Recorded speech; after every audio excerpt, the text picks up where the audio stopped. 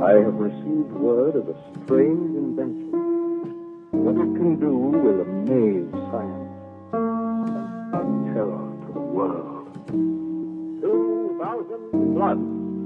Science fiction adventures from the world of tomorrow.